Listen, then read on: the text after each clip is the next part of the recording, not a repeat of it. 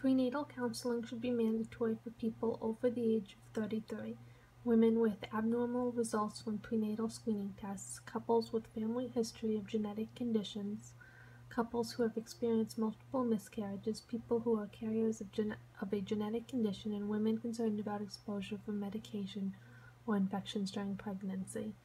Prenatal counseling is a process that provides information and guidance to a couple who are concerned about the chances of having a child with a genetic disorder or birth defect. This process is designed to ease the couple through the testing, treatment, and other options available.